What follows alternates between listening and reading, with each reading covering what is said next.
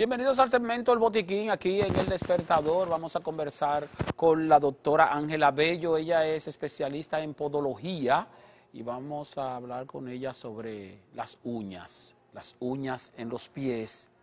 Bienvenida, doctora. Buenos días y muchísimas gracias.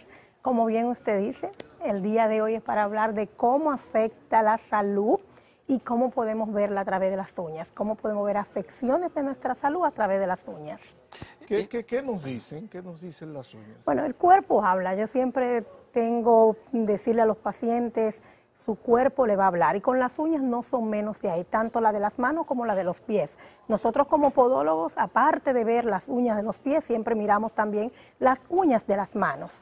Eh, las patologías que sufren las uñas, los cambios de coloración, son muy importantes determinarlo. La cromoniquia, como se le llama, un cambio de coloración en las uñas, ya sea amarillento, blanquecino. En el caso de las blanquecinos me hablan mucho, porque aunque tiene que ver con hongos como la clamidia, también estar una parte de la uña, sobre todo las puntas un poco blanquecinas, tiene que, ver, que ver también con la onicofagia. Las personas que se comen mucho las uñas, sobre todo de la mano, entonces, lógico, no van a alcanzar los pies, pero lo refiero porque en los pies se da lo mismo. Si es por ansiedad, lo van a ver sobre todo en niños que empiezan a quitarse pequeñas porciones de los, de, de, los pies y hasta se lo entran en la boca, en lo pequeñito. Y es un poco de reflejar la ansiedad que tienen. No es lo mismo un hongo como la clamidia, que la tenga en las uñas y se van a ver blanquecinas, a la humedad constante en las manos de usted comerse las uñas, o los niños que también se lo introducen en la boca o empiezan a quitársela poco a poco. Esos son uno de los cambios de coloración que vemos muy frecuentes. Otro cambio de coloración, y lo estamos viendo acá, y de la forma de la uña es esa que vemos ahí, donde los pies se unen una línea blanquecina en el medio, y tiene mucho que ver, por ejemplo, las personas que tienen trastornos de enfermedades renales, Está lo que se llama la enfermedad de Terry, que habla de enfermedades cardiovasculares y enfermedades renales. Es decir, que si usted se nota unas líneas transversales o verticales en las uñas que no son comunes a la forma y color de sus uñas usuales, sobre todo en los pies que son distales, el flujo sanguíneo va a llegar menos, entonces tiene que ponerle alerta y visitarnos que todo el tiempo que me encuentre una rayita o algo en la uña va a ser que tengo un problema de salud. No, pero le está hablando. Igual pasa si vemos acá en gráfico las uñas que se debilitan por partes. Si notan en la gráfica que está ahora, tenemos un lechung a la parte de, de abajo, la que queda pegadita aquí, como ustedes ven, a la piel, y la parte de, de fuera, la que es distal, la ven con una coloración amarillenta. Las que son por hongo, sobre todo, nos van a dar este tipo de, vamos a decir, de uña en una forma craqueada, que se craquean rápidamente. Es una uña que puede crecer anormal, puede crecer demasiado, que nosotros lo llamamos como onicogrifosis, puede ser dura. Los problemas circulatorios, la diabetes, son una de las que más nos causan esto y no siempre está ligada a que usted tenga el hongo. La edad, el usted tener eh, un zapato apretado constantemente, los deportistas, sobre todo lo que hacen los llamados spinning de subir, y también aquellos que montan bicicleta en los gimnasios y se montan en la que tiene la protección y están todos los días con un calzado poco adecuado, sin amortiguador, y lo que hacen es traumatizar la uña. Entonces nos da un cambio de coloración que podemos confundirlo con un hongo o con una enfermedad eh, de trastorno circulatorio y lo que estamos teniendo es microtrauma que debemos retirar el calzado. dos cosas. Una de ellas es la forma de cortarse las uñas. La gente se corta las uñas y quiere cortarse la redondita y eso, se corta las orillas y luego tiene el problema de que cuando va creciendo en la orilla, entonces se te encarna la uña. La gente dice se entierra, pero no se, encarna, se entierra, se encarna, pero no es tierra. No es tierra, Y entonces ahí te sale el llamado uñero que te pone loco. La Real Academia no lo objeta, ¿eh? Bueno, pero como quiera es, es la carne. El asunto es que eh, eh, eh, la forma correcta de cortarse las uñas para evitar ese, encarna, ese encarnamiento o enterramiento de la uña en la orilla.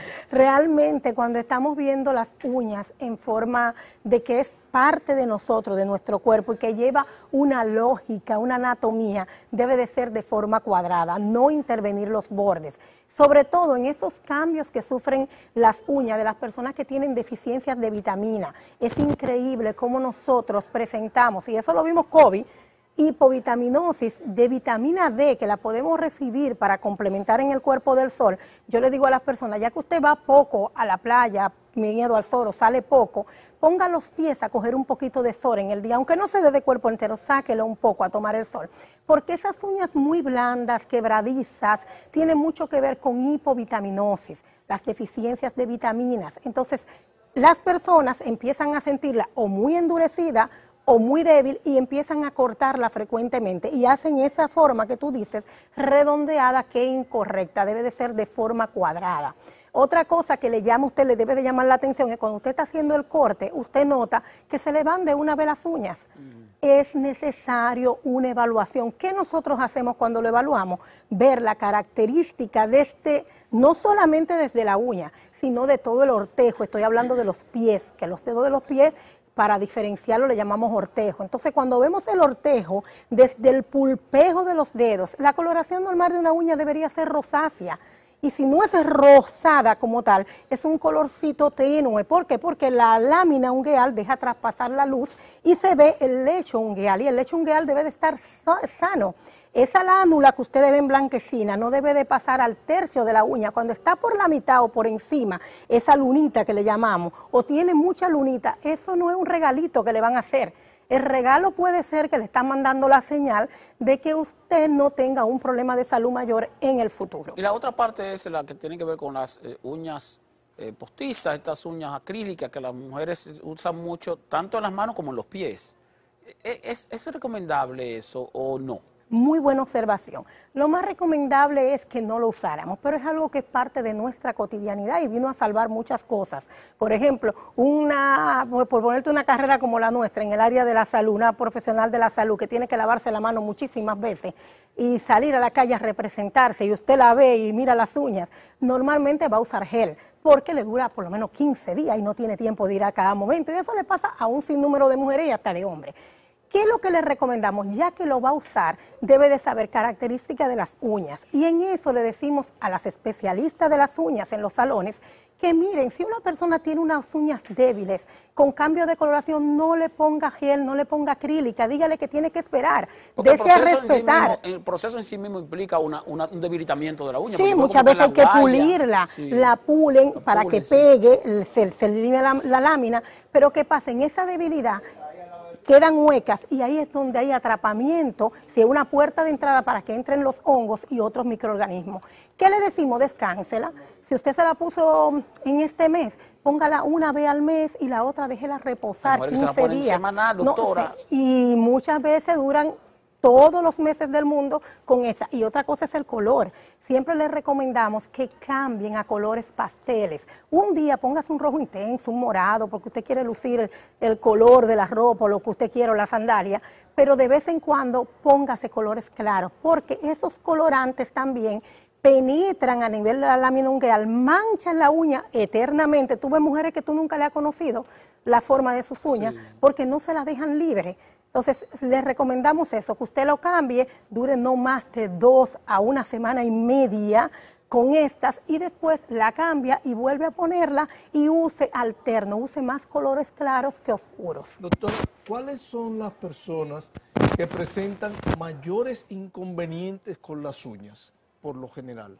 Bueno, la población se puede hablar de que en los envejecientes, nuestros adultos mayores, casi siempre van a tener más problemas en las uñas, porque ya por etapas de edad, problemas circulatorios, sobre todo la de los pies, van a tener el engrosamiento, la onicogrifosis, son uñas, vi una gráfica por ahí, era la, creo la tercera, son uñas que son gruesas totalmente y de hecho, se le encorvan. Hay gente que viene como que fuera pico de cotorra. También en los adultos mayores se descuida la alimentación y vienen esa hipovitaminosa y pueden tener, sobre todo, eh, son adultos a veces muy bien cuidados y tú lo ves muy bien, muy vestidos, pero entonces tienen uñas, unas uñas totalmente frágiles, tanto la de las manos como la de los pies. Y esto se debe a que tienen una hipovitaminosis, nos descuidamos con algunas vitaminas y el cuerpo por lo general no lo absorbe igual. Y hay otra población que tiene mayor riesgo y son las mujeres y es por el hecho mismo de que hacemos muchas cosas, los detergentes. Nosotros tenemos muchas personas con el daño en los detergentes. Ven, estas uñas que tenemos acá son gruesas y también tienen microtrauma. Ese color negruzco puede darse tanto por una persona con deficiencias respiratorias, problemas pulmonales, pero ese que vemos en específico de ese color es microtrauma, calzados apretados. De hecho, hay una de esas fotos que fue un paciente que nos llegó que duró varios días con las botas de trabajar. Es increíble, tenemos que tenerle, llevarlo a esta oración, los que tienen que trabajar en empresas donde tienen que usar la bota protectora con metal.